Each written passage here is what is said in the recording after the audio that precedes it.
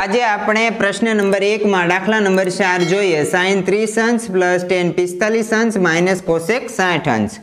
છેદમાં શેક ત્રીસ અંશ પ્લસ કોસ સાઠ અંશ પ્લસ કોટ પિસ્તાલીસ અંશ.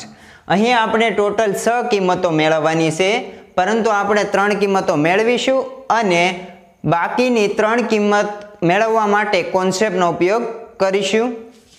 સાઈન ત્રીસ અંશ અને કોસ સાઠ અંશની કિંમત સરખી થાય, કારણ કે સાઈન અને કોસ સાથે આપેલ ખૂણાના માપનો સરવાળો નેવું અંશ થાય, તો બંનેની કિંમત સરખી થાય. તો અહીં સાઈન ત્રીસ અંશની કિંમત અને કોસ સાઠ અંશની કિંમત સરખી થાય. તેવી જ રીતે ટેન અને કોટ સાથે આપેલ ખૂણાના માપનો સરવાળો નેવું અંશ થાય, તો બંનેની કિંમત સરખી થાય. તો અહીં ટેન પિસ્તાલીસ અને કોટ પિસ્તાલીસની કિંમત સરખી થશે. તેવી જ રીતે સેક અને કોશેક સાથે આપેલ ખૂણાના માપનો સરવાળો નેવું અંશ થાય ત્યારે બંનેની કિંમત સરખી થાય. તો અહીં કોશેક સાથે સાઠ આપેલ છે અને શેક સાથે ત્રીસ આપેલ છે. તો કોશેક અને શેક સાથે આપેલ ખૂણાના માપનો સરવાળો નેવું અંશ થઈ જાય છે તો બંનેની કિંમત સરખી થશે. તો હવે આપણે કિંમત મૂકીએ. સાઈન ત્રીસ અંશ એટલે કે એકના છેદમાં બે પ્લસ ટેન પિસ્તાલીસની કિંમત એક માઇનસ કોસેક સાઠ એટલે કે સાઈન સાઠની કિંમત મેળવીને તેમની વ્યસ્ત કિંમત લેવામાં આવે છે. સાઈન સાઠની કિંમત વર્ગમૂળ ત્રણના છેદમાં બે, તો કોસેક સાઠની કિંમત બેના છેદમાં વર્ગમૂળમાં ત્રણ.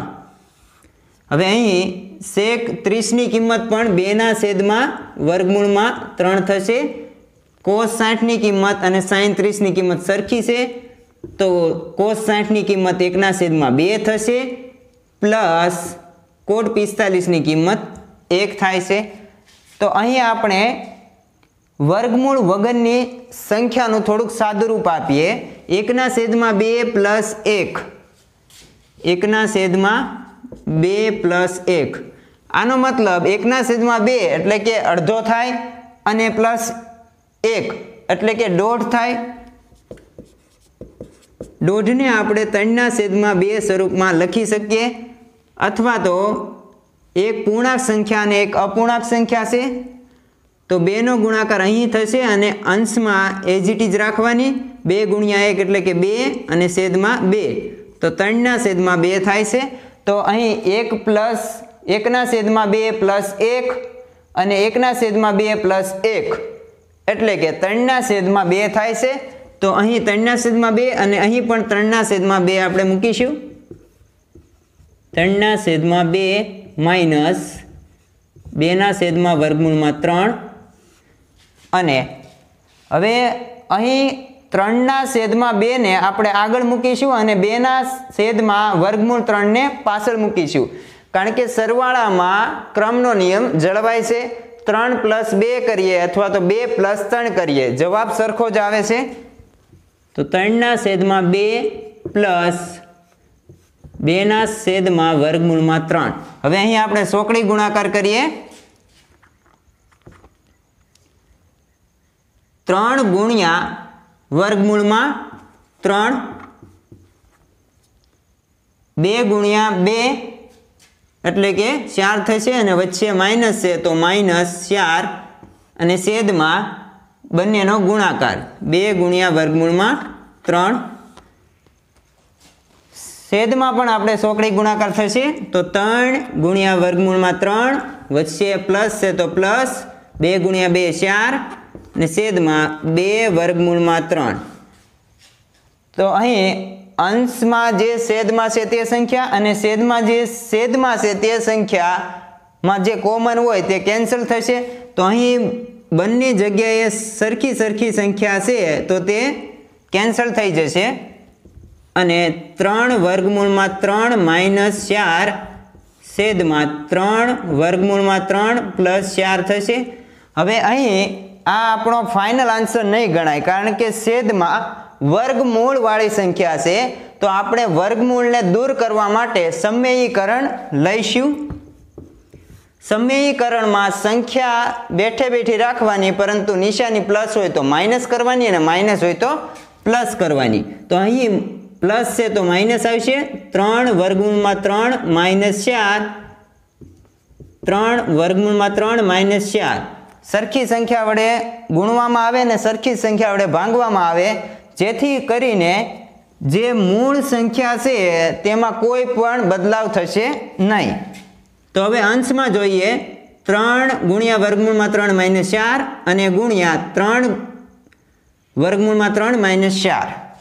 તો અહીં બંને પદ સરખા છે અને બંને ગુણાકારમાં છે, તો આપણે વર્ગના સ્વરૂપમાં લખી શકીએ. એ ગુણ્યા એ, તો એનો વર્ગ થાય. તો અહીં પણ ત્રણ વર્ગમૂળમાં ત્રણ માઇનસ ચાર આખાનો વર્ગ થશે અને છેદમાં. પ્રથમ પદ સરખા, અંતિમ પદ સરખા, વચ્ચે પ્લસ માઇનસ. તો પ્રથમ પદનો વર્ગ માઇનસ બીજા પદનો વર્ગ. પ્રથમ પદ ત્રણ વર્ગમૂળમાં ત્રણનો વર્ગ માઇનસ બીજા પદનો વર્ગ એટલે કે ચારનો વર્ગ થશે. હવે આ જે સૂત્ર છે તે સમજીએ. બે પદ આપેલા હોય, વચ્ચે પ્લસ માઇનસ હોય અને આખા પદનો વર્ગ હોય. તો પ્રથમ પદનો વર્ગ કરવાનો, ત્યારબાદ ત્રણેય પદનો ગુણાકાર કરવાનો અને છેલ્લા પદનો વર્ગ કરવાનો. તો અહીં સમજીએ. એ માઇનસ બી આખાનો વર્ગ. તો પ્રથમ પદનો વર્ગ ત્રણેયનો ગુણાકાર. ત્રણેયનો ગુણાકાર એટલે બે ગુણ્યા એ ગુણ્યા બી. અને નિશાની અહીંયા પ્લસ છે, માઇનસ છે. તો માઇનસ નિશાની આવી છે ટુ એ બી પ્લસ છેલ્લા પદનો વર્ગ. તો અહીં પ્રથમ પદનો વર્ગ એટલે કે ત્રણ ગુણ્યા વર્ગુણમાં ત્રણનો વર્ગ માઇનસ બે ગુણ્યા ચાર એટલે કે આઠ આઠ ગુણ્યા ત્રણ એટલે ચોવીસ વર્ગમૂળમાં ત્રણ પ્લસ છેલ્લા પદનો વર્ગ. છેદમાં કાઉન્સમાં આપેલા બધા જ પદનો વર્ગ કરવામાં આવે છે. જ્યારે આખા કાઉન્સનો વર્ગ હોય, ત્યારે કાઉન્સની અંદર ગુણાકારમાં જે પણ સંખ્યા હોય, તે બધી સંખ્યાનો વર્ગ કરવામાં આવે છે. તો અહીં ત્રણનો વર્ગ, ત્રણ વર્ગમૂળમાં ત્રણનો વર્ગ. તો ત્રણનો વર્ગ નવ થશે અને વર્ગમૂળ ત્રણનો વર્ગ ત્રણ થાય તો નવ તેરી સત્યાવીસ. સત્યાવીસ માઇનસ ચારનો વર્ગ સોળ. તો અહીં આપણે ત્રણ ગુણ્યા વર્ગમૂળ ત્રણનો વર્ગ જોઈ ગયા. સત્યાવીસ આવે છે. સત્યાવીસ માઇનસ ચોવીસ વર્ગમૂળમાં ત્રણ પ્લસ સોળ. છેદમાં સત્યાવીસ માઇનસ સોળ એટલે કે અગિયાર આવશે. હવે અહીં વર્ગમૂળવાળી સંખ્યા છે અને બીજી કોઈ વર્ગમૂળવાળી સંખ્યા નથી, તો તે એજ ઇટ ઇઝ રાખવાની માઇનસ ચોવીસ ગુણ્યા વર્ગમૂળમાં ત્રણ એમ જ રહેશે.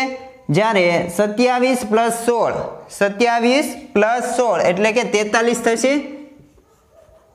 તેતાલીસ માઇનસ ચોવીસ વર્ગમૂળમાં ત્રણ, છેદમાં અગિયાર. હવે અહીં છેદમાં વર્ગમૂળવાળી સંખ્યા નથી અને આ આપણો ફાઇનલ આન્સર ગણાશે. તો અહીં થોડુંક સાદુરૂપ વધારે આવે છે, પરંતુ સાદુરૂપ આવડતું હોય અને બધા કોન્સેપ્ટ ખબર હોય તો આપણે આસાનીથી સોલ્યુશન કરી શકીએ છીએ. વિદ્યાર્થી મિત્રો, તમને આ મારો વીડિયો પસંદ આવ્યો હોય તો લાઈક કરો શેર કરો તથા અમારી ચેનલને સબસ્ક્રાઈબ કરો. Thank you